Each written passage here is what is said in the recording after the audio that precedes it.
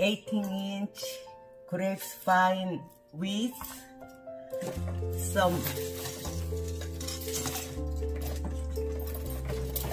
Christmas ball, small, medium.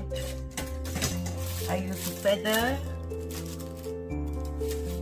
some ribbon.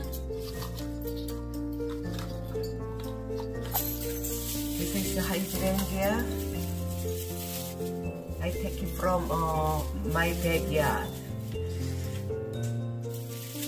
This is a sola wood flower. This is pine cone.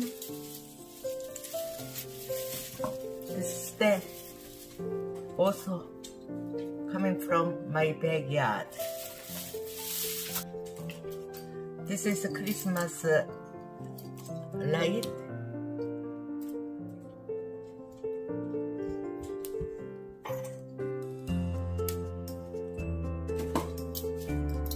So I want to use dry hydrangea with the ball and Christmas wreath.